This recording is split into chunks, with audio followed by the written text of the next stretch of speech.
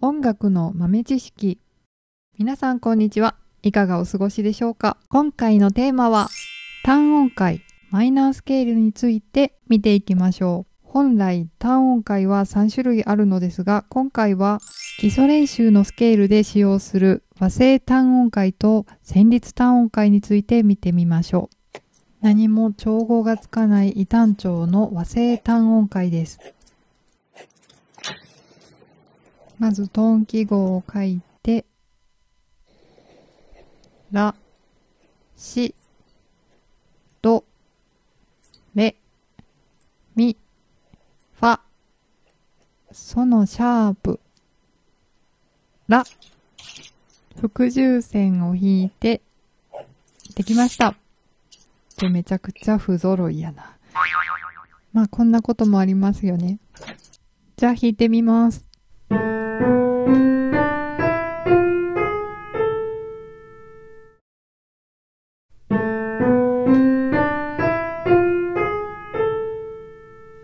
ちなみに層についているシャープは臨時記号です。調合自体は何もついていないのですが、曲が終わった感じを出すために臨時記号がついています。次は異単調の旋律単音階です。上行形と下行形があります。またトーン記号を書いて、まずは上行形。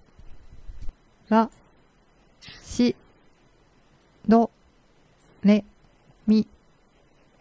ファのシャープ、そのシャープ、ら。次は下降形、ら、そ、ナチュラル。ファのナチュラル、み、れ、と、し、ら。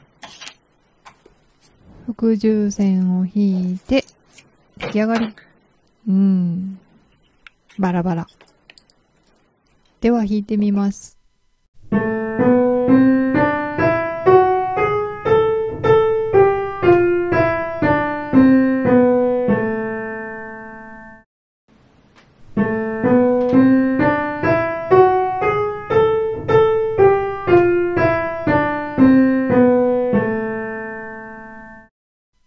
乗降形は臨時記号が2つシャープがつきましたが加工系はそれを外すべくナチュラルがついています。